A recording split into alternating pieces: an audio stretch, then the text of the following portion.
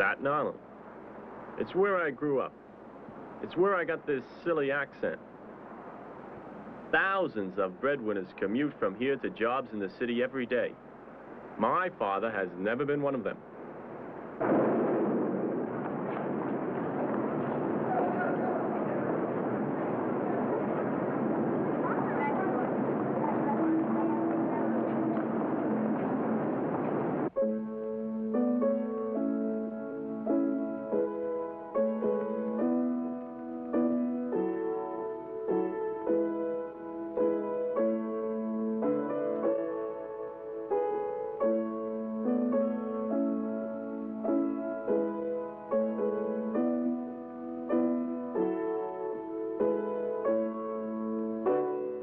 If you could get along on a crust of bread and be engaged in some occupation that you like to do, this crust of bread is a feast. But if you're, if you're involved with something that you detest, and you, you sit down to the biggest meal, you, you choke on it because you know the next moment is going to bring the misery. But if you know the next moment where you're going to be involved in something that satisfies you, you're not concerned about body sustenance anymore. Concerned about what dream you have.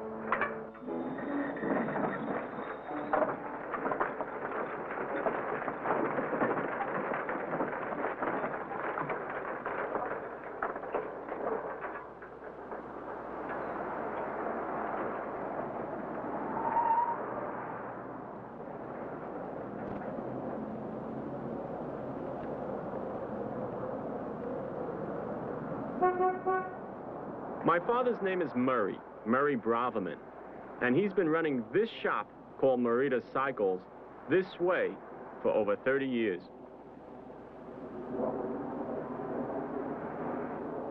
When he was kids, he rides on a bike with his kids. He puts a little seat, him and his wife, and they, they ride all the along. No used to car. ride with the girl car, about. right. Yeah, oh yes. And the She had kids behind him bad with the bicycle. Isn't that something? And of all those years.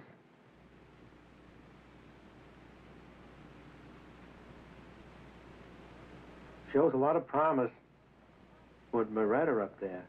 Fine imported cycles. Boy, what a thing that is. Bicycle repairs.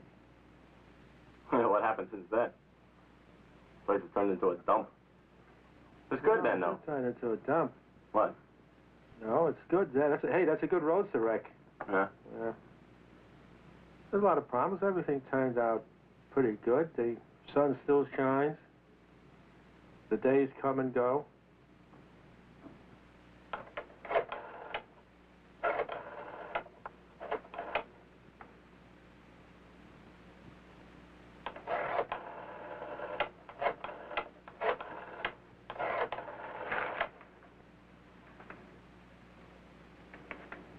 Hello, you have an ad in the paper?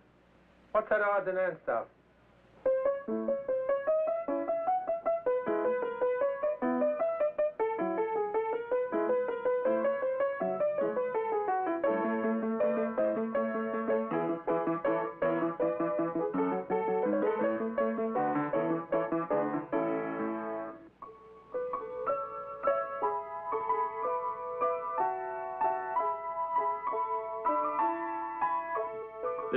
Can no longer accommodate Murray's constantly growing inventory, so new acquisitions wind up in our house, two miles away.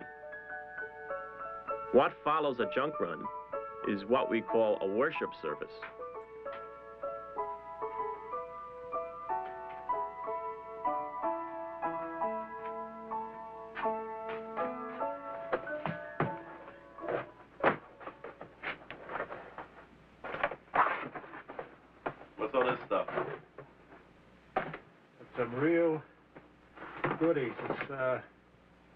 Think it's for computer tapes. It's uh, something that could really be used. Well, for more junk. Not necessarily. Tremendously good. Looks like the same old shit, if you ask me. Well, I usually don't like to ask too many people. I'd like to ask myself, and if I have a good reply, that's all I'm interested in. Now, I'll turn this thing here, And it's very good the way these covers come off. You can use this for all kinds of parts. And uh, when you put the parts in, you can put them right in like this any which way because this is tied on. It's solid. And you could put the parts in and store them that way. Here is uh, shelf and lining paper. That's always handy. Here you have your uh, cubes, making your cubes for small cubes. You don't want those big ones where you choke on them. This is your uh, paint mixing stick. Here's a load of miscellaneous tools. It's, it's always a goodie there. Here's a couple of books, which is always good for self-edifications. Here's the uh, some numbers in case you're putting up screens, which you don't do anymore. Here's your doorbell. All you need is the house to go with it. Here's a very good find. This is a scissor made in Germany of a high quality steel. This needs a slight repair, a little sharpening. Yeah, there's a beauty. That's a, a switch plate in a mother of pearl motif. Perfect goodies. Another box of perfect goodies. There used to be seven of us in our house. But as we moved out, the goodies moved in. Murray's Fort Knox. If you went into a cave and there was gold in there, and let's say that, of course, gold is not that plentiful where just as there's a sign on it, you pick it up. It's like in the form of dust. Once in a while, you strike a rich one with, with nuggets. But if, if you would invite your friends into the cave, say, what the hell are you living in this cave for? You know, it's dark and it's damp. Well, he said, there's gold And. He says, well, why don't you just take the gold out and leave the cave? Well, all right, but he says, I don't need all the gold at once. I just put, pick a nugget out. I use it to exist, to, to buy my food, to buy my clothes. And, and this is what is. There- These items are, uh, are items of, um, like gold nuggets.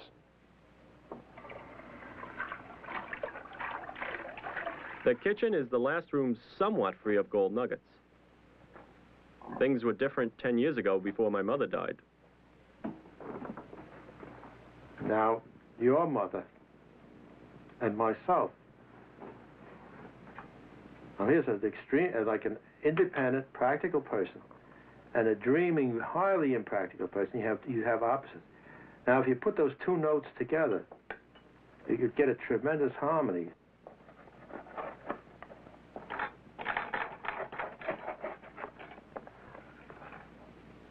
The offspring can take the order from both. In other words, they can take the best of the two worlds and make something out of it. Are you making movies now? Are you out of your mind? Introducing my sister Lola. My sister thinks making movies about the family is sick. That? Expose personal problems? Ridicule the family? It's sick. I can't even, I've never heard anything that's sick in my life. When I was 18 years old, there's a lot of things that was denied denied to me. But at the, during a time that I felt that I was being denied things, and this was so real at the time, I felt that I was being given a lot of things. I was blessed with a lot of things. I felt, as, as much as I was denied, I was rich because I could see the struggles of both parents. And I felt that, that this struggle that they were going through, to me, that was like a love. It wasn't said in, in any kind of eloquent terms, but it certainly was there. I felt it. You don't have to keep talking just because he has a recorder on. That's You Lola can't- You again. can't have dead air. Dead air after 30 seconds. I'd rather have dead air than hear your noise.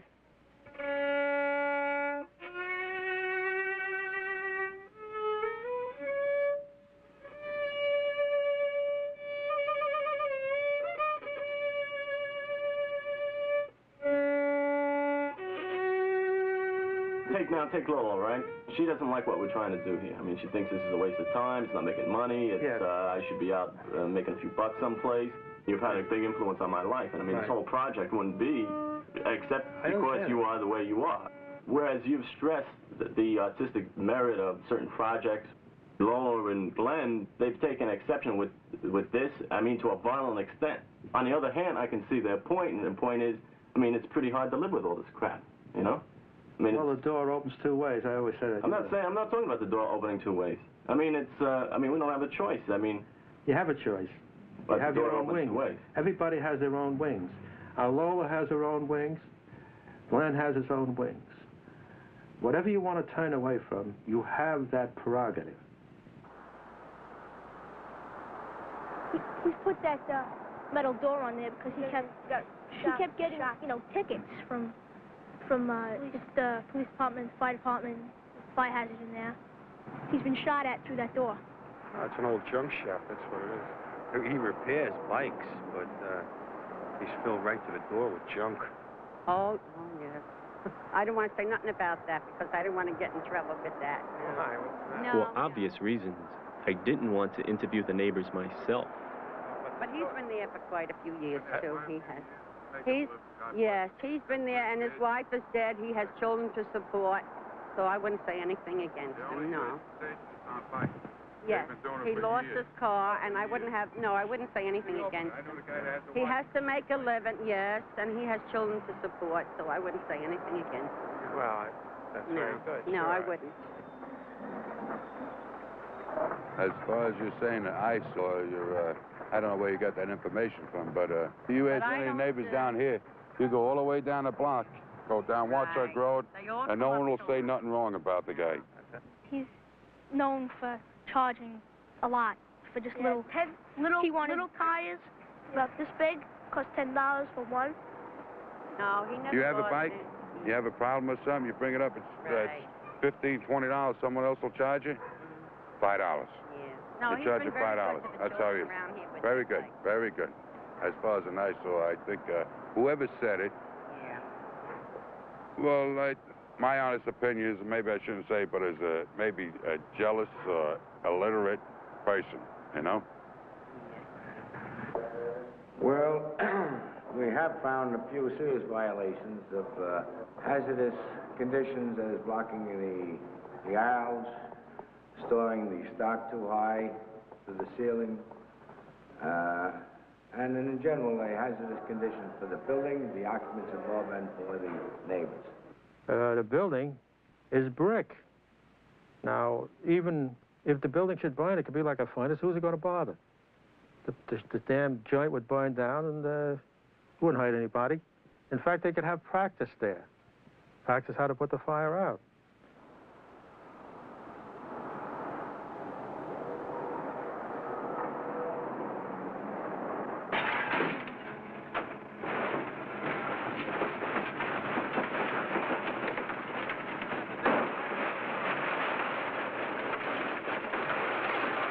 He's about the strangest one that comes in here. But I enjoy him the best. Why do you say strangers? Why?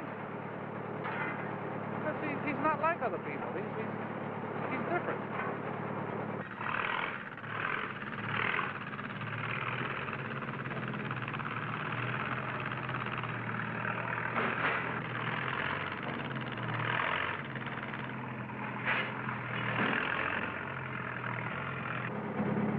Yeah, he comes and spends time here. He's, he spends time. If you want to talk about machinery with him, he knows about machinery. Or if you want uh, something fixed, he'll help you fix it. Or if you need something, he'll get it for you. He's very intriguing. He's very interesting to talk to. Now, you've been sitting here all day, and there haven't been any customers. Why do you do it? Well, it has to be a place where you can sit. Well, I know, but you do this day after day. Uh, this is a business, and it's not operating. Why? Oh, there's all kinds of businesses. There's a business of living, and there's a business of uh, acquiring uh, capital for your responsibility. I think he's contradicting himself when he says that because if you don't, if he doesn't, like so this morning he was here, he needed money. He sold me some merchandise. He had to go down and pay his bills. That's where it means it, it, it means something, don't it? If you haven't got that, you don't pay your bills, you don't have no electricity. If I need some money to pay a certain bill, I promote a certain item, and when I complete the transaction, I have that amount of cash to to take care of that obligation. Yeah. What, too much for you? Huh? Well, uh, I might shave a little bit. Oh, yeah, Skycomoke, yeah. 75. It's, it's a good one. It's a Bausch and Lomb. It's not that Jap crap. A hundred? Yeah, 100, yeah. You go buy a new one for a little over a hundred. Ah, you'd probably get a new one for about 75. Tell you what, I'll give you five bucks and I'll put it right in the car. You want to give five for this? Yeah. All right, give five for it. Come on. Let's see if you... Okay. And I'll give you fifteen for this. Twenty dollars. I'll take the whole shoot match. Be 25. Uh, I got, got twenty dollars on me. 25 for the two things. Twenty-five. I mean, it's not enough. Make it more than... Let me throw this in the car. What? This- Oh, first you got to pay. Oh yeah, I gotta pay first. Yeah. Okay, you're right. I trust you. wrong. No, no, you're not wrong. You're right. You're and a I'm little wrong. hasty. Geez, you got a lot of money. If I knew you had that much, I'd charge you I'm more. broke, for Christ's sake. I can't. I won't. You, I'm Yeah, fucking around with my supper here. Don't carry too much money would you. Give it away quick. The basic idea in business is to buy something for so much and get much more in return. In other words, it's, it's got something to do with animals. You buy cheap and you sell dear. But it isn't as simple as that. There's salesmanship involved, and there's timing. There's putting up with different kind of uh, emotional problems that people might have. Because the money doesn't come from a machine, it comes from a person. If I cannot enjoy that relationship, then what the money I take will not satisfy me. All righty, let's see. What is this? Uh, oh, that's that. All right. All right, I'll put this in this uh, high-class bag. I added three of them in there. What, that's five and 56. All right, that's $6. There's your bag of tubes. Come back again. You're welcome. And I will take this money. How come you come to this place? It's not too good looking, right? It's a nice place to come and get all your parts and stuff. What do you think about this Murray fellow? He's okay.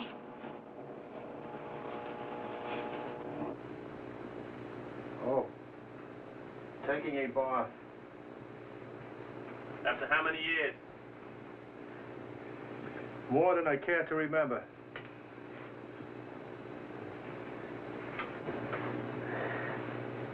These shoes do constitute a, quite a uh, age. They've grown part of the appendage. Oh, that's a hard shoe to get off. Oh boy. There's a tremendous. Oh boy. Shoes are off. Putting that away. Oh. Taking the clothes off. Oh. Oh. The pants seem to have a, a bit of an exposure.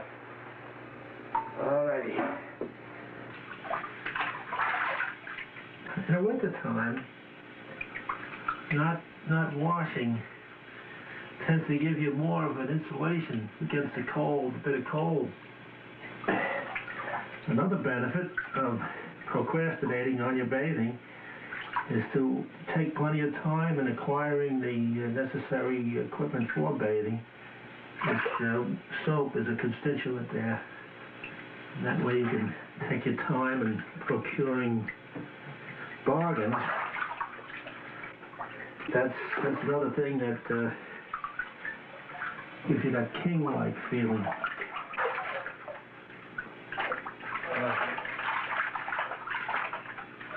I gotta meet the world.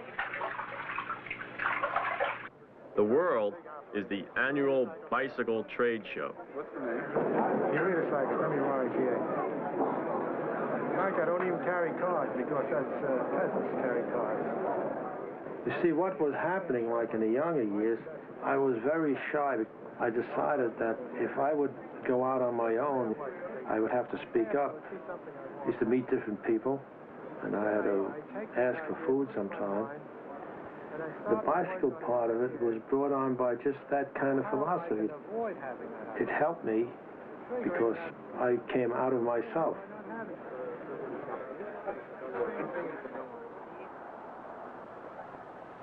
Well, Murita Cycles, there was a tremendous dream. The names are Murray and Rita. Now, these two names were put together for the purpose because it was initiated on the basis of a joint venture. But I remember fights. I remember throwing stuff. I Oh. remember she wanted sort of a house that was relatively clean. Yeah, yeah. She didn't go too much for this kind of image that I project. I project this sloppy, disgusting, uh, no care image. And she complained that uh, she didn't want to be seen in, a, in with me and in the house. And uh, I, I figured that why should I? My own feeling was, uh, why should I be different to somebody else that comes to a house that I, what I wouldn't be different for her? Well, look, I remember when my mother was dying, and you wouldn't see her, and uh, she Yeah, wouldn't see yeah, you, and I mean, yeah. you were miles apart, and uh, Yes, but the one of this part as much that people would imagine. Says, I don't want to see you come up here to hospital. I believe her. I believe that, and because I have enough caring for her, I stay away. I didn't stay away because I didn't want to see her. I stay away because that's what she wishes. And when you love something, you have to respond to the wishes of the one you love.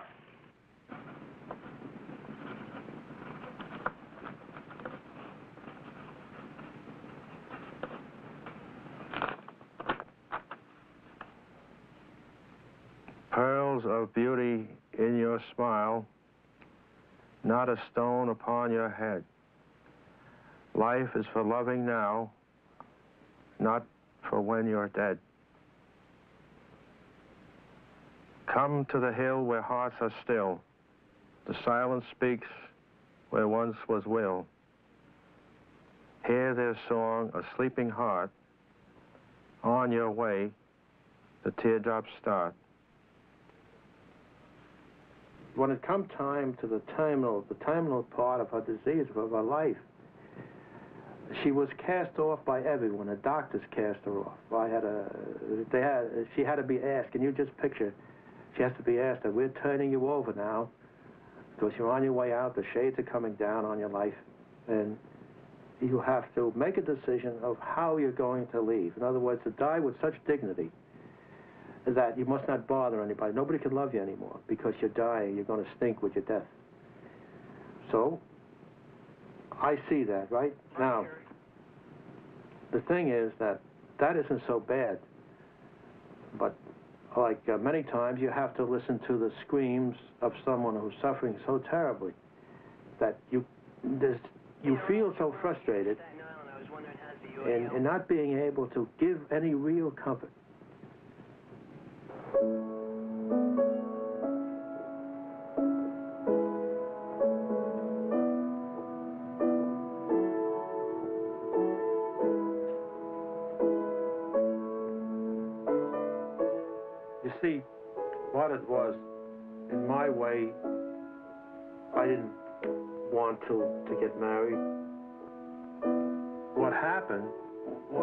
was like a, like a kind of surrender, like as if, uh, like it's like the big blue eyes. Now, none of the family has those big blue eyes. It seemed like it ran off. It, she, she took her eyes with her.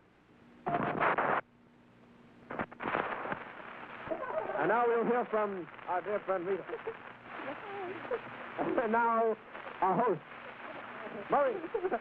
And now sing Win, the big uh, virtuoso on the piano at Marpon.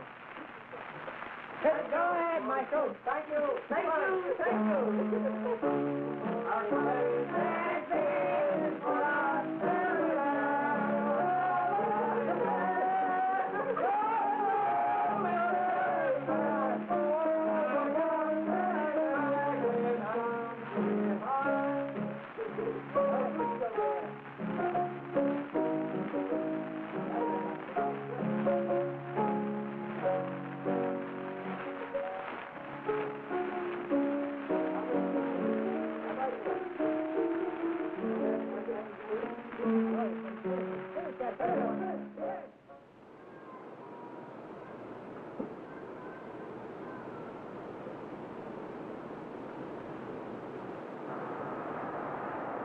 To me, it wasn't important to be a successful businessman.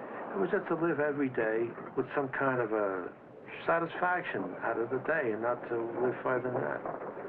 And uh, this is the way uh, Murita Cycles is.